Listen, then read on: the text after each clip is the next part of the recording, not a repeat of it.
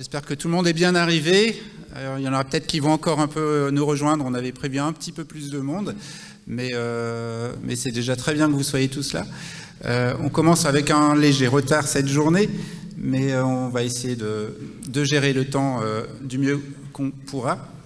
Alors, cette journée, elle s'inscrit dans le cadre d'un projet Interreg. Donc, le projet Interreg, c'est un projet de coopération transfrontalière avec en l'occurrence euh, nos collègues allemands, et autour de l'enjeu de, de, la préservation du, grand hamster euh, d'Alsace et euh, du coup du grand hamster peut-être aussi côté allemand qui s'appelle le grand hamster d'Allemagne.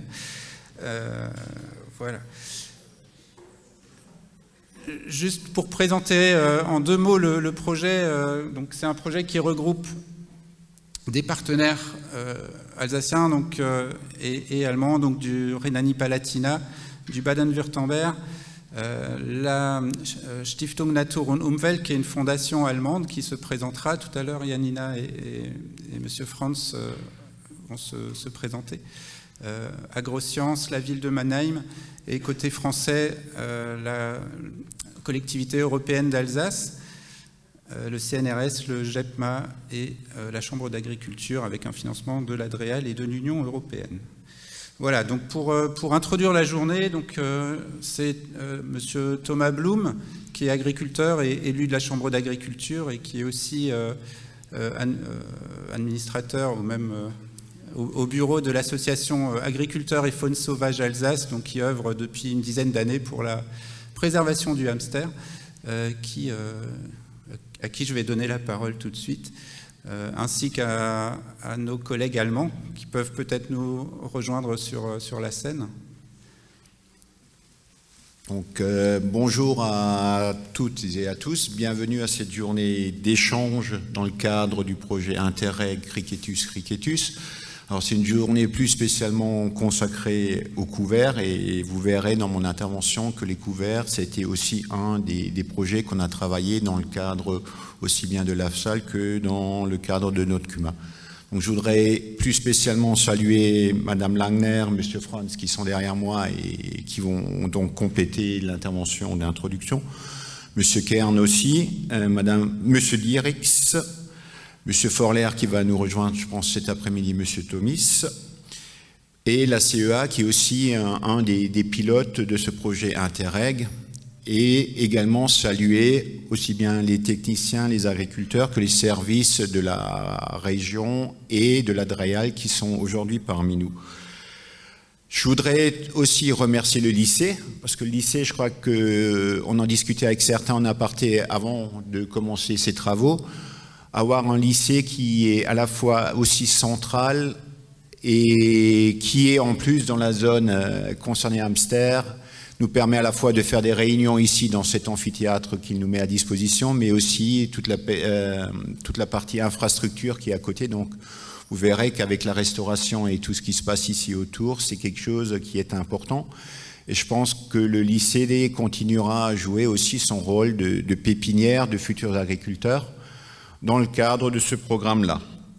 Alors simplement, je voudrais vous rappeler un peu un, historique du pourquoi, du comment par rapport au plan hamster.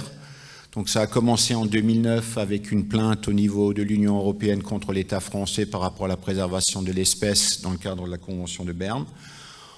En 2013 a été créée la fameuse AFSAL, donc l'Association Faune Sauvage d'Alsace, qui cette année fête ses 10 ans.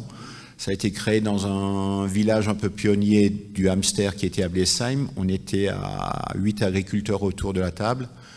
Après, il y a eu la création en, en collaboration entre la Chambre d'agriculture, la région Alsace qui existait encore à l'époque, du, du, programme euh, d'expérimentation autour du hamster et qui a permis la création, de la, entre autres, de la CUMA et d'un plan d'action pour mettre en place un certain nombre d'essais grandeur nature, notamment sur les couverts, avec des semis de, couverts dans des céréales au mois de mars-avril et essayer après de voir les résultats parce que euh, voilà, dans le, cadre de ce projet-là, il nous était important de voir comment on pouvait éviter un sol nu après les moissons. Donc on a fait aussi là-dessus un certain nombre d'essais.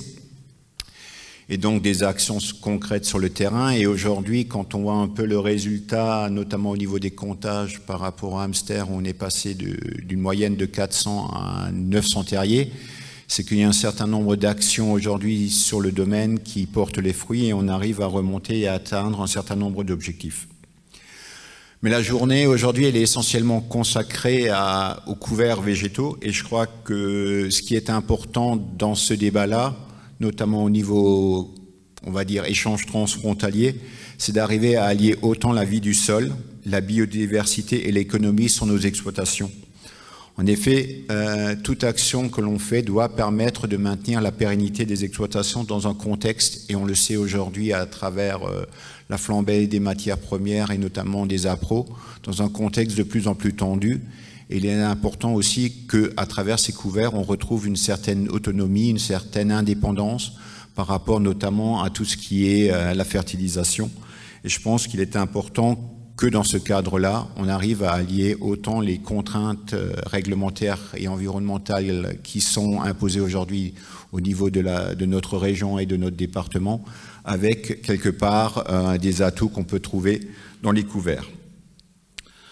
Il est important aujourd'hui de trouver la, plus grande efficacité au niveau de, de ces couverts pour justement faire que derrière, je dirais, et vous le verrez dans la journée qu'on a aujourd'hui, c'est trouver la meilleure alliance entre les couverts et les cultures. Ça veut dire d'avoir, à travers euh, un raisonnement autour de ces assolements, trouver les meilleures cultures hautes qui permettent après d'avoir la meilleure retour pour les cultures suivantes. Donc vous aurez à travers cette journée aussi une présentation des essais qui sont menés sur des différentes exploitations avec des témoignages d'agriculteurs. Je crois que ça aussi c'est important d'avoir euh, ces moments-là d'échange entre les préjugés qu'il existe aujourd'hui au niveau de, de certains techniques euh, existantes qui m'ont en laboratoire mais pas forcément sur le terrain. Mais vous aurez aussi un débat sur la meilleure façon d'implanter les couverts, après aussi de les détruire parce que certaines destructions peuvent, et certaines dates de destruction, vous le verrez dans les présentations, ont une incidence aussi sur la culture suivante. Voilà. Je pense que il faut vraiment qu'on travaille euh, sur ces couverts. Je pense que les travailler au niveau interreg et notamment au niveau de, du Rhin, c'est quelque chose qui est important parce qu'on a la même climatologie, on a aussi à certains endroits les mêmes types de sols. Donc trouver des complémentarités avec nos homologues allemands, hein, belges, et peut-être même en partie un jour avec des Suisses, même s'ils ne font pas partie de l'Union européenne, pourrait être quelque part un, un, plus pour justement arriver à faire que demain l'agriculture ben, soit encore là, que les couverts soient un atout important, notamment par rapport à toutes euh, nos exploitations. Et sur ce, ben, je vais donner la parole à nos collègues allemands.